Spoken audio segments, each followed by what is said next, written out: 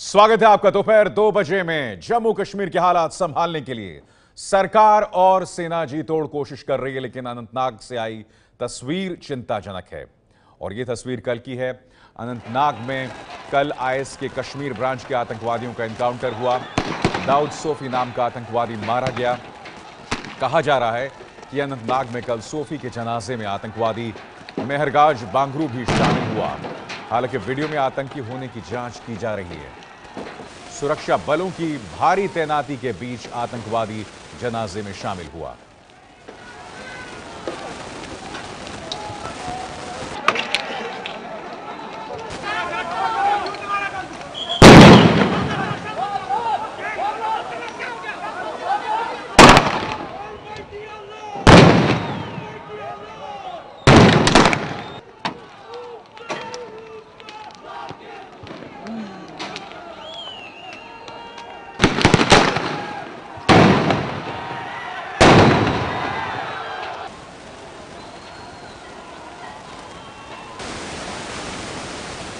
तो आप देख सकते हैं, सैकड़ों लोग सड़क पर हैं। सुरक्षा बलों पर ज़बरदस्त पत्थरबाजी हो रही है।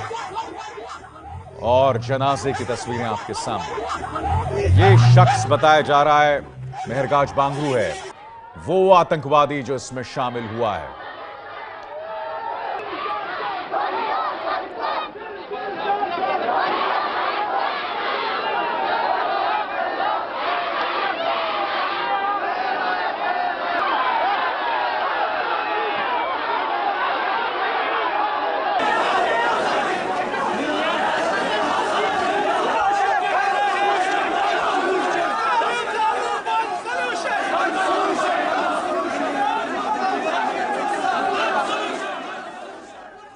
लोगों में ज़बरदस्त नाराज़गी और वहाँ पर वो ये भड़काऊ नारे लगातार लगा रहे हैं। एक आतंकी का जनाजा और जवानों पर भी पथराव हुआ इसमें।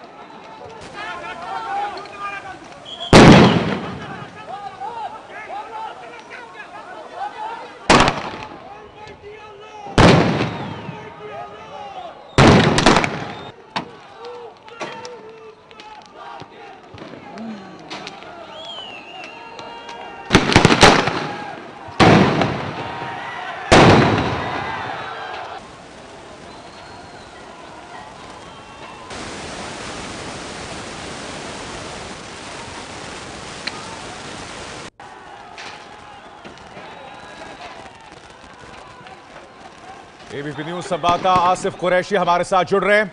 आसिफ, क्या इस बात की पुष्टि हो गई है कि जिस आतंकवादी का हम यहाँ ज़िक्र कर रहे हैं वो वहाँ मौजूद था, उस रैली में मौजूद था, मेहरगाज, बांगरू, और इस आतंकवादी के बारे में हमें क्या मालूम है?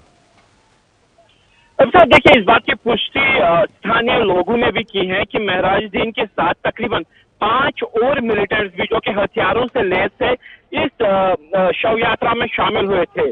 दाऊद जो कि श्रीनगर के बाहरी इलाके जराकोट में रहता था, वहाँ पर दाऊद जहाँ पे महराजुद्दीन बंगरू के साथ साथ पाँच और हथियारबंद लोग भी मौजूद थे जो इस शव यात्रा में शामिल हुए। इस बात की पुष्टि स्थानीय लोगों ने भी की है। और महराजुद्दीन के बारे में बता दूँ कि वो पिछले पाँच छह सालों से सक्रिय है और लश्कर तैयबा का। अगर देखें तो श्रीनगर के लिए कमांडर है। जितनी भी कार्रवाइयाँ लश्कर तैयबा की श्रीनगर में होती है उसके पीछे महराजुद्दीन बंगरू का ही हाथ माना जाता है और लश्कर को श्रीनगर में रिवाइव करने में महराज का ही हाथ था। शुक्रिया शुक्रिया आसिफ कुरैशी। ये है एबीपी न्यूज़ आपको रखे आगे।